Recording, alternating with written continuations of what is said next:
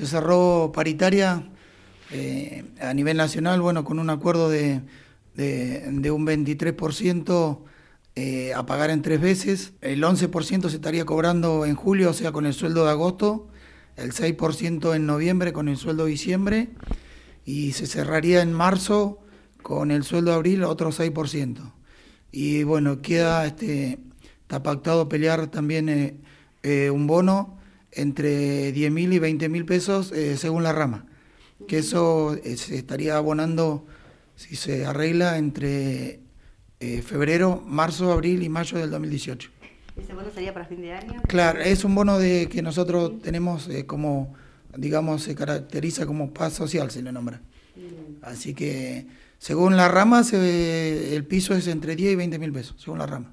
Pero ustedes cuánto estaban pidiendo? Bueno, porque hubieron idas y vueltas, ¿no? Con el tema de las paritarias. Sí, sí, estábamos pidiendo, bueno, eh, un 32% eh, de paritaria, pero eh, realmente está bastante complicado y casi todos los gremios están cerrando en este porcentaje y la verdad que con la incertidumbre que tenemos de cada día hay más despidos en todos los sectores, este, creo que el gremio bajó un poco, digamos, un cambio este, y cerró en, en un 23% que, que, bueno, dentro de todo este, es está, digamos, eh, bien, bien peleado. ¿no? Tenemos acá concretamente en, en Esquel, eh, tenemos eh, con la empresa 4M Group, que no solamente tiene en Esquel, sino que en Esquel tiene 23 trabajadores, entre choferes administrativos, entre Leo tiene dos, en, zona norte de Santa Cruz, que viene a ser precisamente Caleta Olivia, son 23 trabajadores más, y 6 en Río Gallego.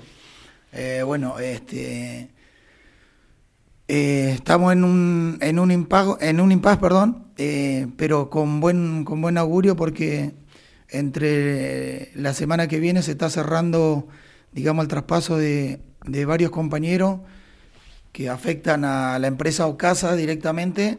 Este, se está haciendo el traspaso a la empresa NIN, este, acá en la zona de Esquel, eh, eh, nueve carteros estarían pasando a la empresa CEPRIT, se estaría cerrando el acuerdo, que es una empresa de correo a, nivel nacional, paralela a OCA.